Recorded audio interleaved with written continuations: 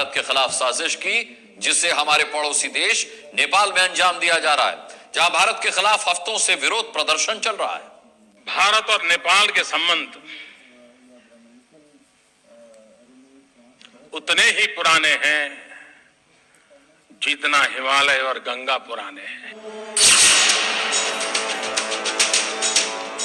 जिससे हिमालय और गंगा से भी पुराना रिश्ता हो वहाँ भारत का विरोध क्यों हो रहा है?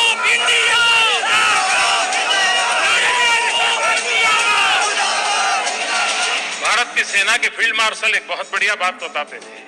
वो कहते थे कि कोई सेना का जवान ये कहे कि मैं मृत्यु से डरता नहीं हूँ तो मान लेना या तो वो झूठ बोल रहा है या तो वो गुरखा है।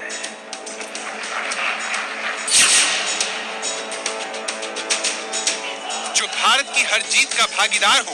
वो नेपाल। नाराज़ क्यों?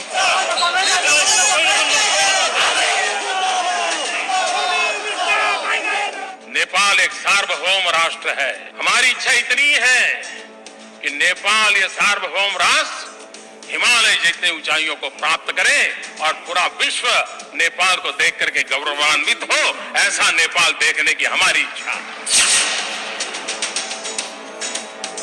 जिसकी संप्रभुता का भारत सम्मान करता उस नेपाल को कौन भड़का रहा है?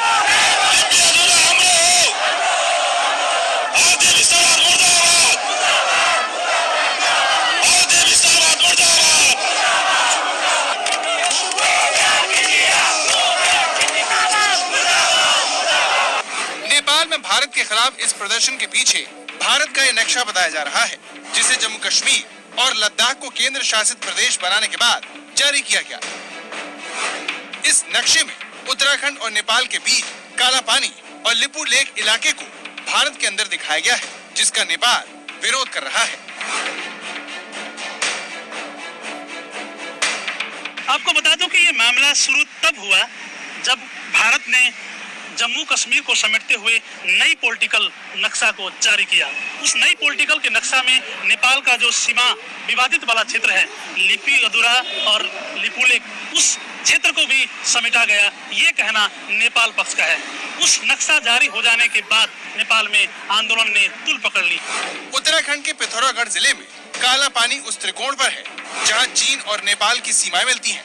ये इलाका काली नदी का उद्गम स्थल है। नदी के पार नेपाल का दारचूला जिला है तो इस बार भारत का हिस्सा धारचूला है।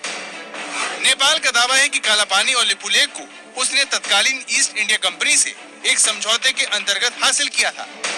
यो बैठकले राष्ट्रियताको मामलामा, सार्वभौम सत्ताको मामलामा, भौगोलिक अखण्डताको मामलामा अभूतपूर्व राष्ट्रिय सहमति प्रकट गरेको छ।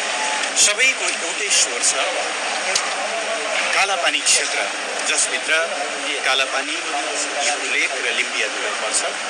त्यो निर्विवाद ढङ्गले नेपालको भूभाग हो। भारत का कहना है कि 2018 के मानचित्र में भी काला पानी भारत में दिखाया गया था इसीलिए इस पर विवाद बेमानी है। ऐसे में विदेश मंत्रालय ने नेपाल को दो देशों के बीच मतभेद पैदा करने की कोशिश करने वालों के खिलाफ आगाह किया है।